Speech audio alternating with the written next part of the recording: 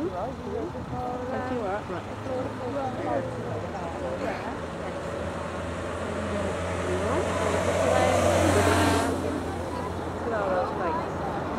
Wow, look at them. Oh my god.